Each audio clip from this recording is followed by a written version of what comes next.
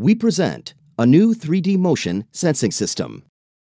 Our method enables non-contact, high-speed, and target-independent motion sensing. By using a multiplexed laser, rotational and translational velocity can be obtained without prior knowledge of the target.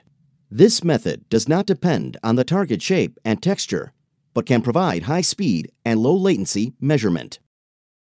This system irradiates the lasers to a target and measures the distance and velocity at high speed.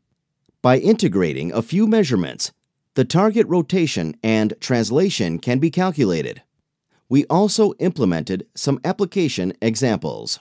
In motion capture application, virtual characters can be manipulated using real objects.